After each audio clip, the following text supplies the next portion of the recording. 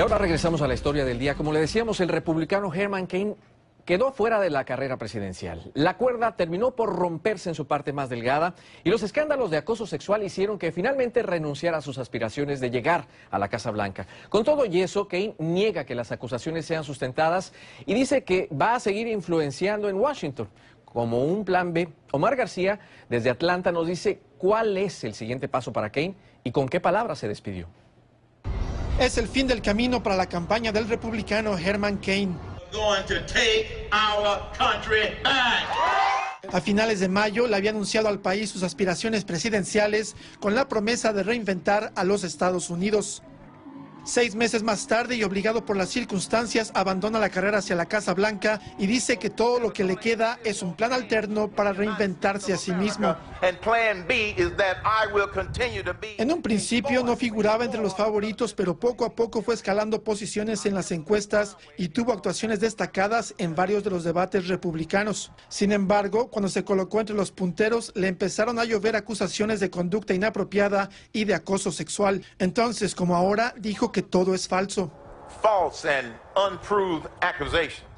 Pero la gota que derramó el vaso fue la revelación de Ginger White. Ella asegura que durante los últimos 13 años mantuvo una relación extramarital con el ex empresario, ex locutor y hoy convertido en ex candidato impacto de la renuncia de Herman Cain en el Partido Republicano es interesante porque lo que está viendo es que está achicando el número de precandidatos. Según la analista, todavía puede haber muchas sorpresas en la lucha por la nominación republicana de aquí a que inicie el proceso congresional del 3 de enero en Iowa. Con la suspensión de su campaña, Herman Cain le deja el camino libre al resto de los aspirantes republicanos, pero advirtió que no se quedará callado y en los próximos días anunciará a cuál de ellos le brindará su apoyo.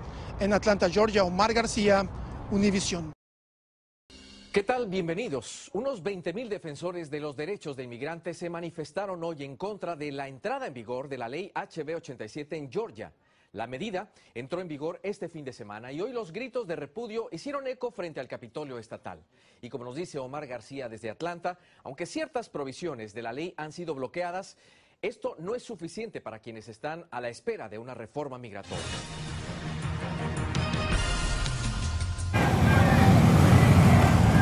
Todo el repudio de los inmigrantes indocumentados de Georgia hacia la ley HB 87 se concentró en el corazón de Atlanta.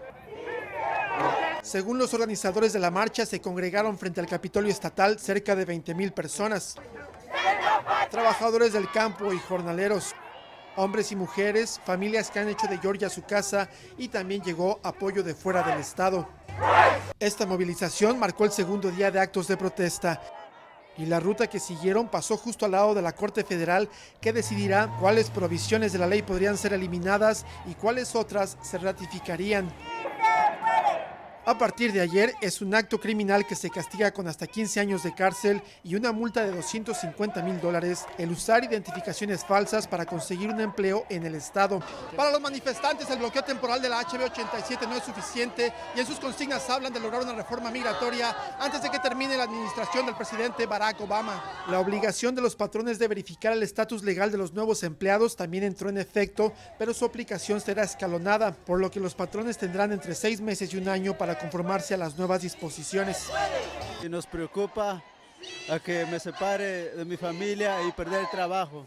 Miles de activistas se congregaron hoy frente al Capitolio del estado de Georgia en Atlanta para protestar en contra de las propuestas de leyes anti-inmigrantes y en contra del trato injusto a los hispanos. Omar García está en Atlanta.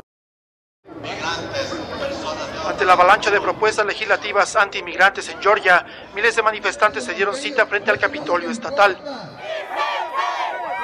Están protestando los intentos de senadores y representantes por pasar leyes que, según activistas pro-inmigrantes, tienen un perfil racial. la ley que quieren aprobar aquí en Georgia es muy injusta, es inhumana y necesitamos rechazarla. Pero es en el Senado en donde están pendientes tres propuestas a las que en conjunto se les compara con la controversial SB 1070 de Arizona. En solo cuestión de días, la suerte de la HB 87 será discutida por legisladores de ambas cámaras. De ser aprobada, solo faltará la firma del gobernador Nathan Deal para que se convierta en ley. En Atlanta, Georgia, Omar García, Univisión. Hoy entró en vigor en Georgia la ley de inmigración HB 87 que ha provocado rechazo y polémica. Varias organizaciones cívicas de ese estado realizaron manifestaciones de protesta y recibieron también el apoyo de activistas de varias ciudades de los Estados Unidos. Omar García nos dice cuáles son algunos de los planes de la comunidad de inmigrantes para responder a esta polémica ley.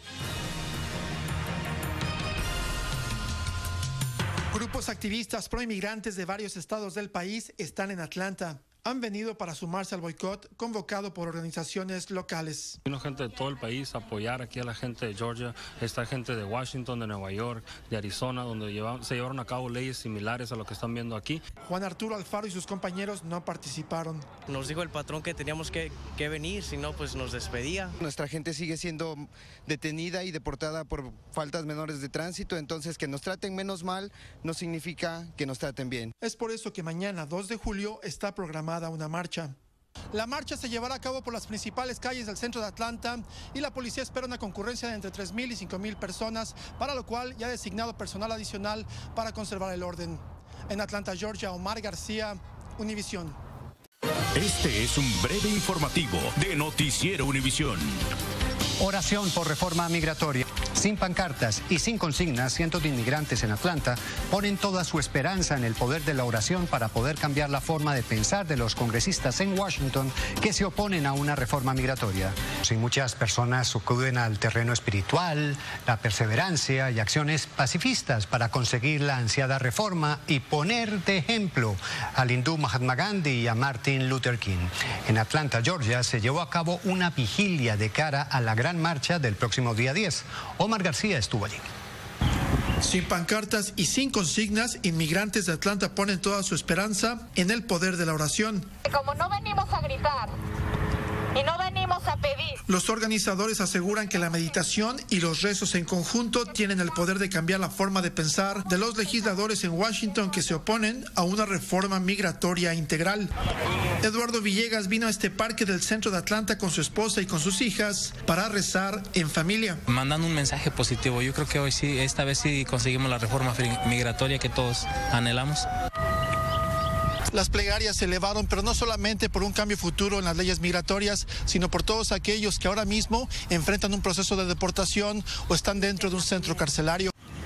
Hoy, en silencio, esta vigilia es parte de los eventos que anteceden a las marchas pro reforma migratoria del 10 de abril, en donde se espera que cientos de miles de inmigrantes harán oír su voz. Por los líderes, por las familias, por la reforma. En Atlanta, Georgia, Omar García, Univisión.